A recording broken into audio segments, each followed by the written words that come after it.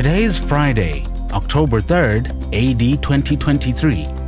This is the Africa Review in 5, written by David de Bruyn and presented by Yamikani Katunga. Death penalty disappearing in Africa.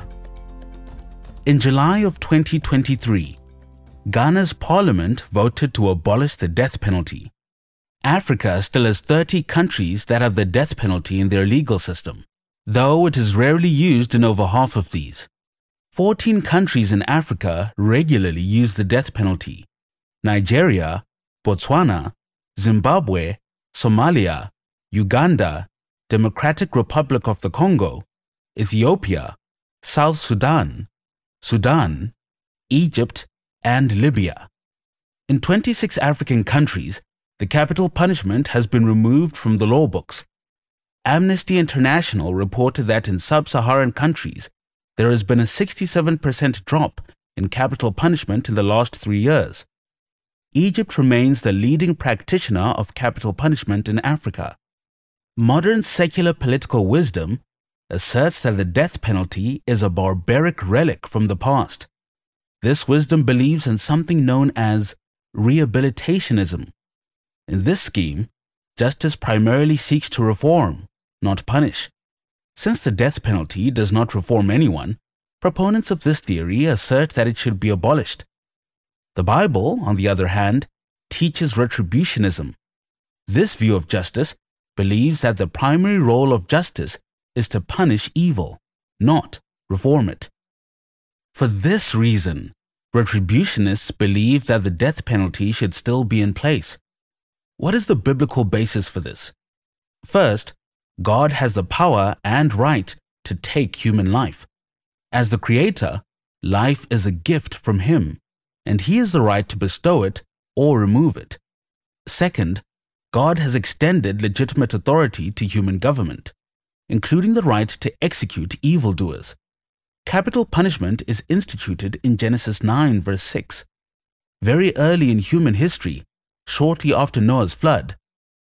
This verse teaches us that capital punishment is based on the biblical principle of the sanctity of human life.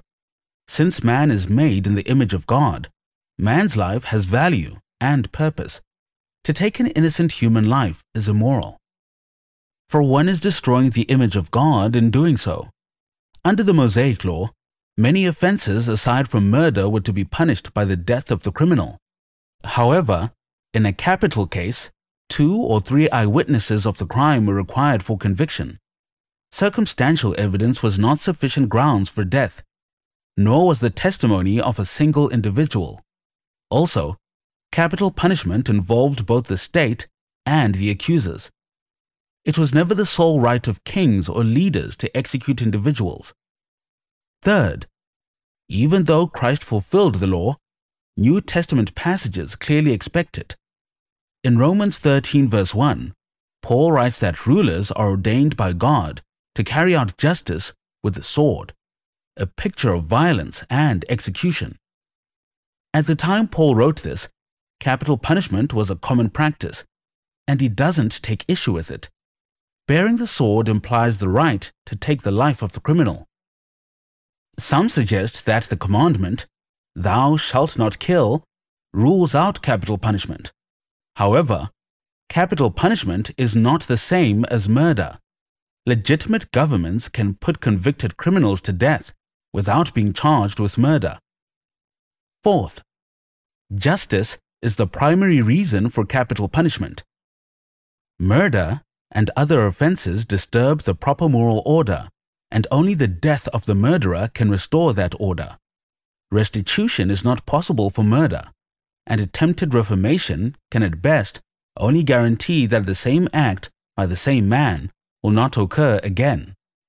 But nothing can satisfy justice in regard to murder, except the death of the murderer. Whether or not capital punishment deters crime is really not the issue.